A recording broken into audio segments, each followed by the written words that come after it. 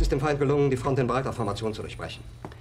Im Süden hat der Gegner Zossen genommen und stößt auf Stahnsdorf vor. Der Feind operiert jetzt am nördlichen Stadtrand zwischen Frohnau und Pankow. Und im Osten ist der Feind bis zur Linie Lichtenberg-Marsdorf-Karlshorst gelangt. Mit dem Angriff Steiners wird das alles in Ordnung kommen. Mein Führer, Steiner. Steiner konnte nicht genügend Kräfte für einen Angriff massieren. Der Angriff Steiner ist nicht erfolgt.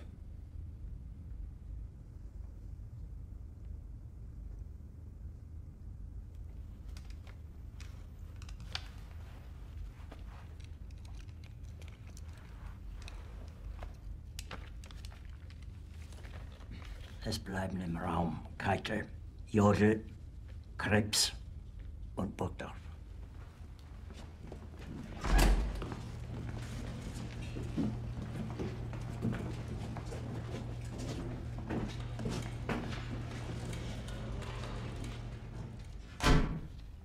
Das war ein Befehl!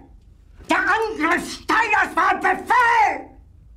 Wer sind Sie? Dass Sie es wagen, sich meinen Befehl zu widersetzen! So weit ist es also gekommen. Das Militär hat mich belogen! Jeder hat mich belogen, sogar die SS!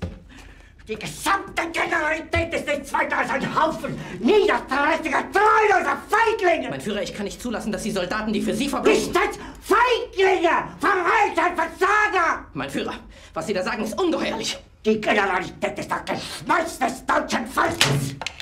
Sie ist ohne Ehre!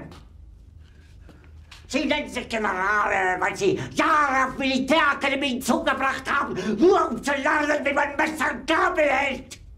Jahrelang hat das Militär meine Aktionen nur behindert!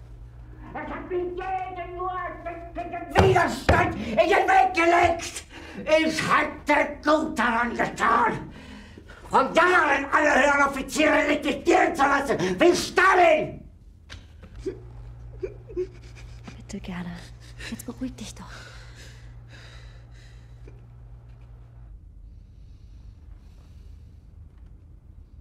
Meine Befehle sind in den Wind gesprochen.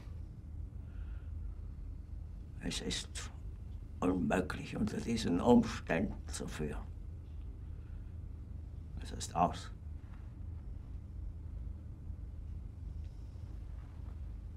Der Krieg ist verloren.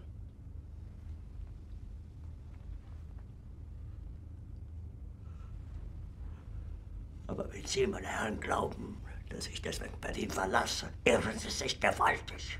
Eher jage ich mir eine Kugel durch den Kopf.